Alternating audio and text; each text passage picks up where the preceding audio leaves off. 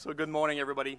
I am uh, really delighted to be uh, with you this morning. And, um, you know, uh, uh I love Washington. It's a lovely city, despite the fact that some people were saying it's chilly out there. For the, my colleague at Hydro-Québec, it's pretty warm. So, so thanks for, uh, for having us and, uh, and giving us the opportunity to talk about our company that, that we love. Um, so I'll go, I guess you can see that. Yeah, that works.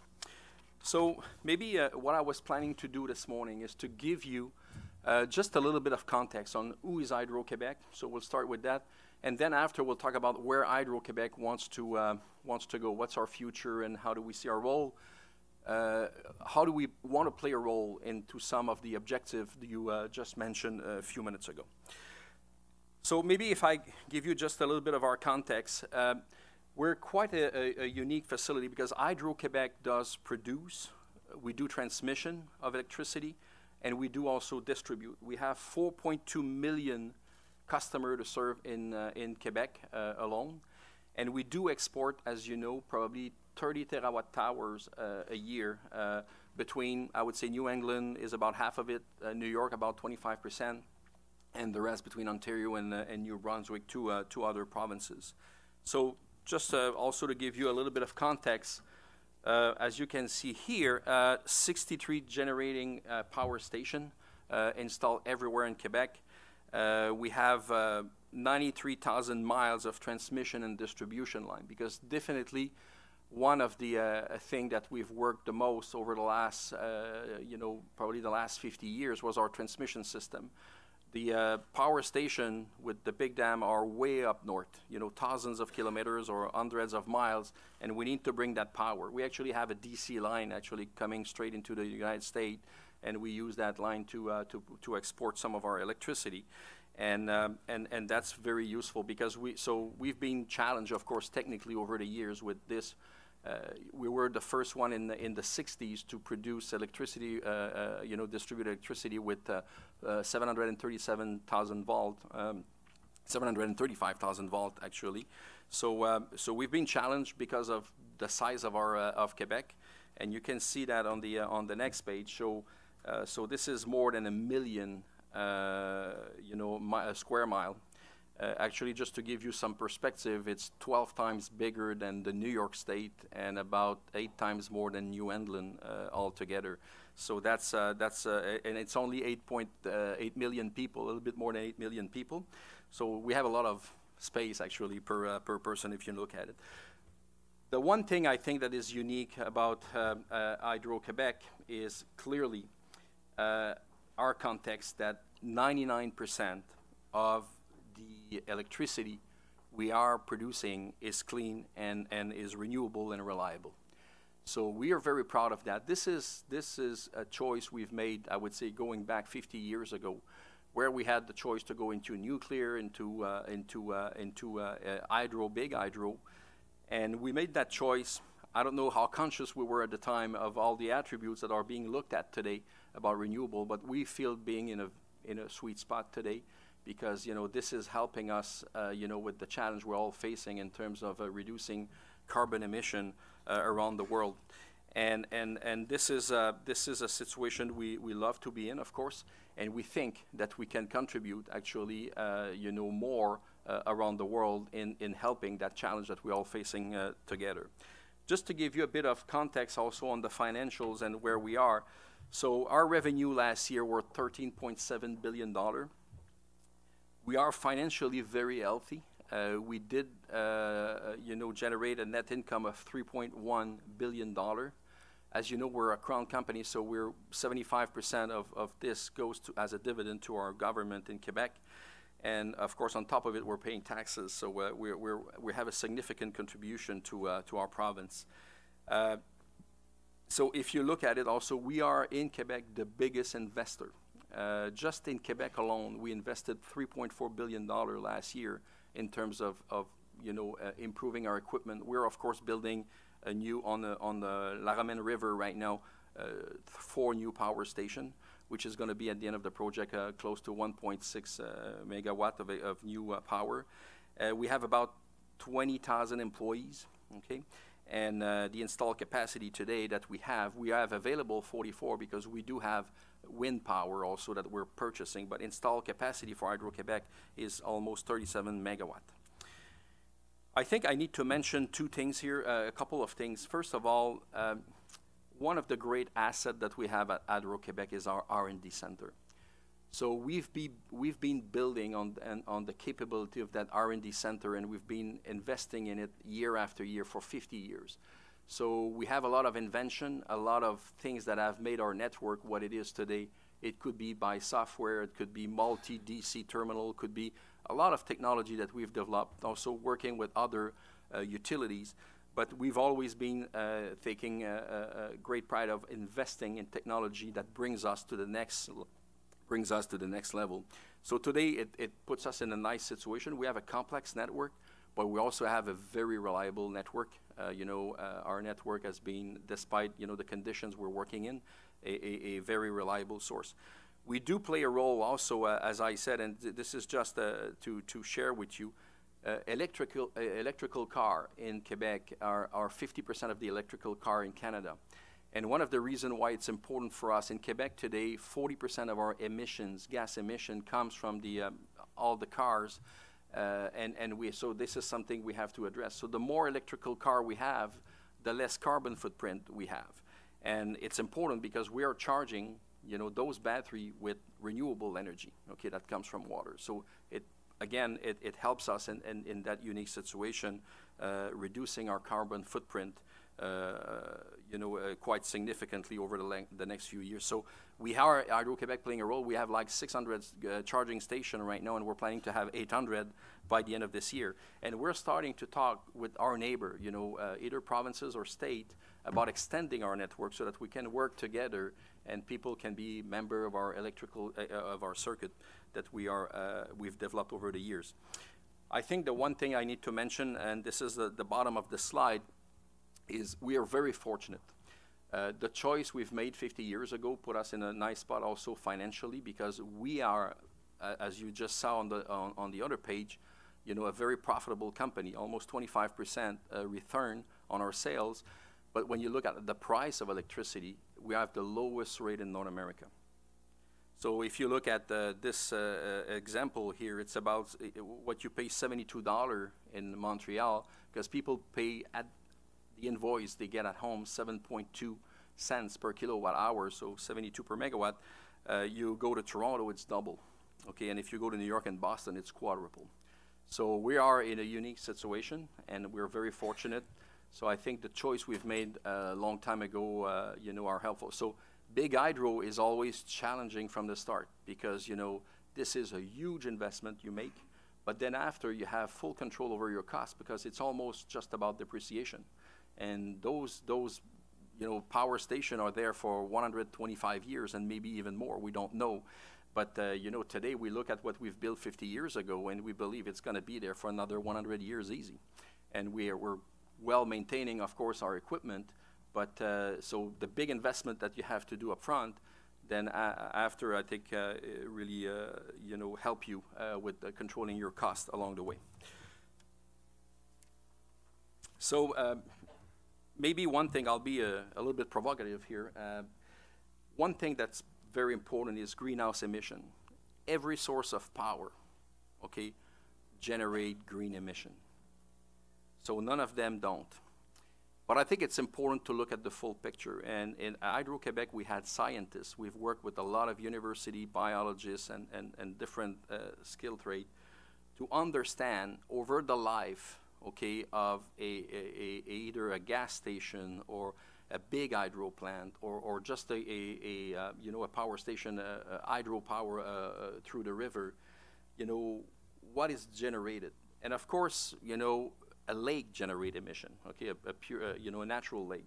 So of course, when we build those big dams, it generates emission a lot more in the few. Uh, it's a it's it's a you know a natural process you know that that takes place at the beginning more, but when you look at over the life, you know, of how long this is going to last, the, the, the fact that you have a construction and then you almost doesn't need to touch it or replace it for many, many years, when you look at the all life, so it puts us in a, in a situation where the hydro, big hydro, is about equal to wind, you know, clearly less than, than uh, uh, photovoltaic because you need to replace it more often. And we're taking into account here the, the, the production process, really looking at the whole picture. So we have hundreds of thousands of pages of studies done by different, we always came to that conclusion.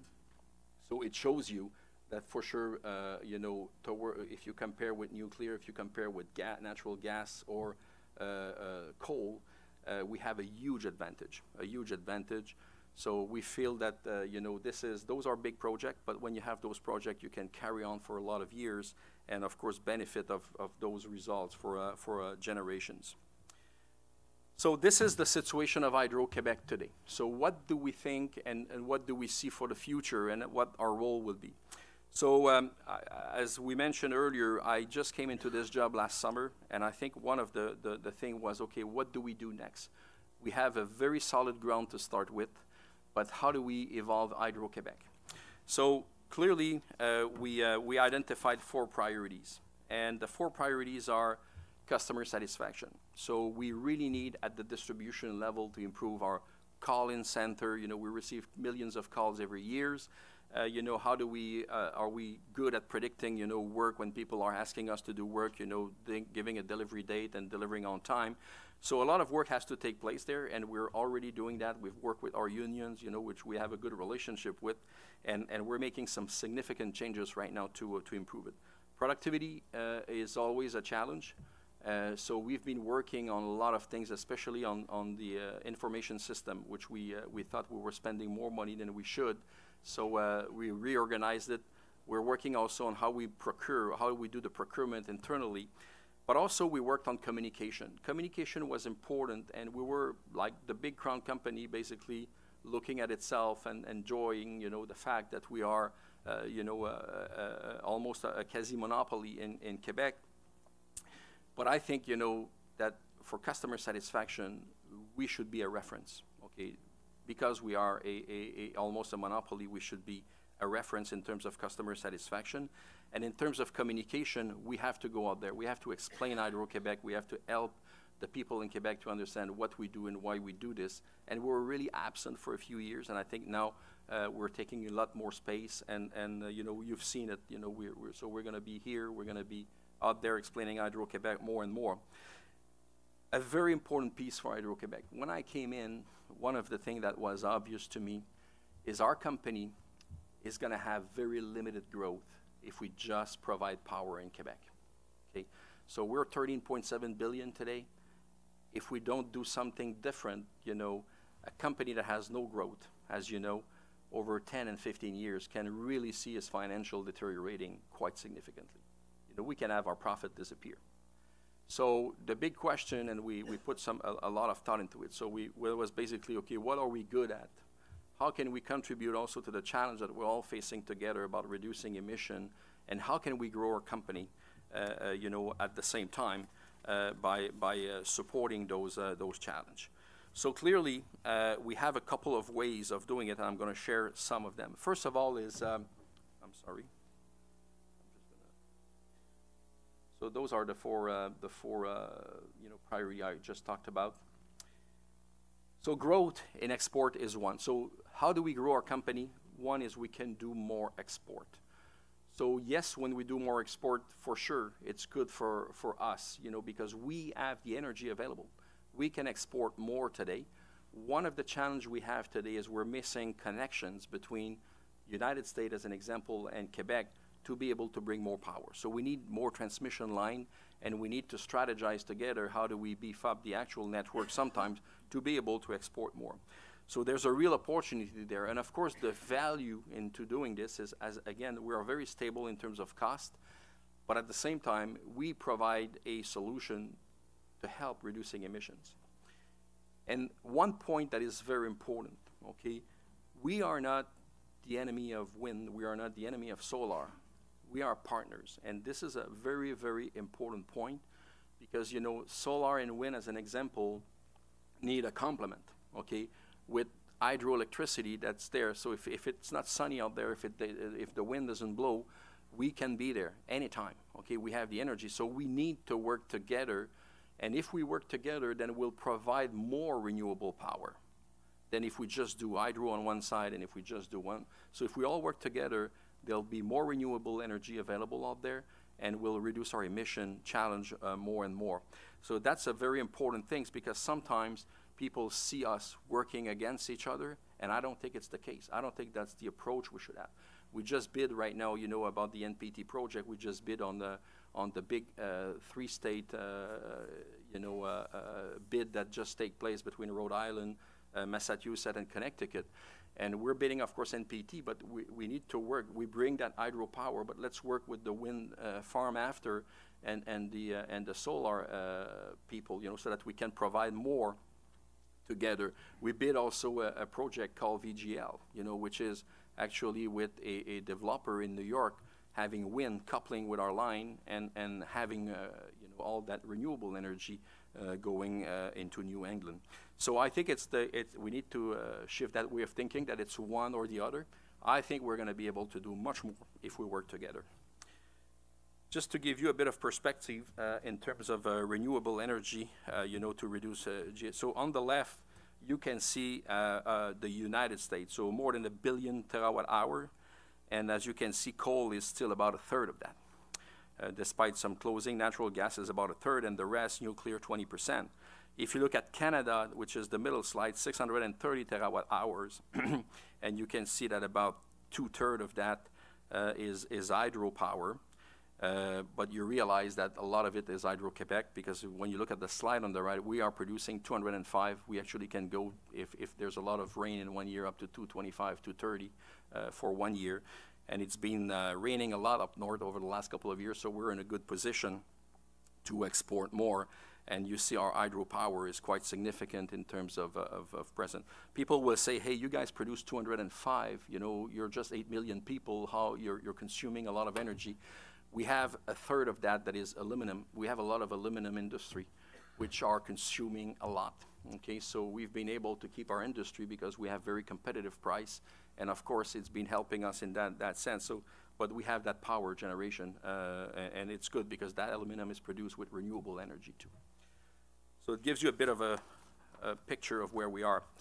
Um, so clearly, the second path after export, how we're going to grow our company, we are looking right now at acquisition outside Quebec. So it can be other Canadian provinces, can be in the U.S., so uh, we can be, I would say, anywhere in Americas. So we're looking at Americas right now as a priority. We're not saying no to the rest of the world, but we're putting like uh, more emphasis. I don't want to be in a situation where in, in three years we're in 25 countries, because I think this is going to be difficult to manage. So our approach is let's buy an, an existing asset and let's look at countries that have potential to grow. Then after we can go into construction and, and, and, build around that asset that we build because we believe it's important in every country to well understand the legislation, how it works, how do you get a permit, how do the, uh, the, uh, the, the, price of electricity is, is determined, all that. So, so you don't want to be in 25 countries, you want to be maybe in five years in three, four, five countries that are strategic. So we help these countries to, you know, uh, get a better footprint we help this country to improve the reliability of their network, and this is things we, we can, I think, uh, help to. Uh, so that's going to be important. So we're going beyond our borders, and we're going to be looking also elsewhere. We're looking actually at project in Europe. We're looking at, you know, some people are approaching us from Africa or from Asia. And uh, since we, we, we came back and mentioned that, uh, you know, we want to be back into that business, because we used to do that. Some people may not know we had about eight or nine, uh, uh, you know, asset out there uh, as an example, in Chile, we were actually owning and operating the whole network in Chile, uh, transmission network.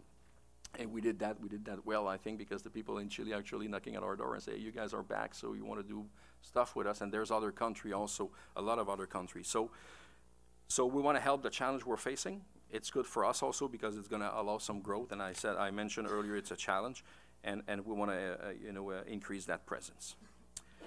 Another piece also I mentioned earlier that uh, we've developed a lot of technology over the years. And I just mentioned two examples here. And one of the things I want to do to grow our company, this is the third leg, is the commercializing of, of the advanced technology. So as an example, you see at the bottom here a battery we all know that, you know, uh, storing uh, energy is, is a challenge today in a lot of countries. We're very fortunate in Quebec because this is, the water in the dam is how we store, those are the big battery for us. But it's not a luxury that all the country have. So we've developed a new chemistry of battery, working with our partner Sony, and uh, that battery is being tested right now. And what is different about that battery, because a, a lot of other people are developing the same thing, but overall, if you look at all the other people developing batteries, after 3,000, 3,500 charge and recharge, the battery is finished. Cars can go between 10,000 and 20,000. So for the people that are purchasing that battery, you know, it's three to six times more in terms of life, in terms of cost per recharge and charge and recharge. So very interesting product. And the second also benefit of that product is safety. It's almost impossible to get that battery on fire compared to what exists today on the market. So what we're thinking here is to work with all the big utility in the world that face that challenge of storing energy. It can be for peak shaving, it can be for different application. And, and within that container, it's a 50, 53 foot long, actually, goes on a container on a truck. It's a big load. So you got the battery, of course, which are all little cell, but at the same time, in the middle of that, you got all the computer. Hydro-Quebec did develop all computer and software so that you can put this on the grid easily, of course, uh, with the different specifications. So we've, we've developed that technology going with the battery. So we're testing, we have one in test right now, we have two more being built, and uh, we think commercializing these battery in a few years from now and help, again, uh, the challenge that we're all, all facing. At the top, a lot of people don't know that we are uh, producing a, a electrical, we've developed an electrical motor, uh, you know, which today, actually, this year, we, we installed 700 of those last year in China because, you know, China has some quite big challenge. All their bus right now are moving from, you know, uh, regular bus to electrical buses. And, and they're using our engine for a lot of them. Okay, not, this is not the only one. There we have competitor, but we're gaining market share right now. So 700 last year, this year will be more than 3,000, probably up to 4,000. So there's significant growth for us. And this is a, a, a technology that's been developed for many years. Uh, I like to say that it's kind of the Swiss uh, watch of, uh, of, en- of electrical engine, uh, and it performs very well. So we're developing technology, as I said earlier, and we're trying to help also the planet to get greener. So uh, we've mentioned earlier, so that's kind of our goal on the financial point of view. We're a $13.6 billion company. We, would, we see ourselves in 15 years to be doubling that, to doubling the size of Hydro-Quebec. We think we have the capability, uh, especially on the big hydro, building hydro or operating hydro, but also in, in terms of uh, uh, you know, transmission. I, I would say this is a unique uh, skill set that we have developed over the years, and I think we can help uh, other country or other company with that. So um, I know it's a little fast, but I, I know we have a we're a bit limited on time. So again, you know, I know we're going to have a discussion. I don't know if it's taking place now or right now. Okay, great. So feel free to ask any question. Thank you.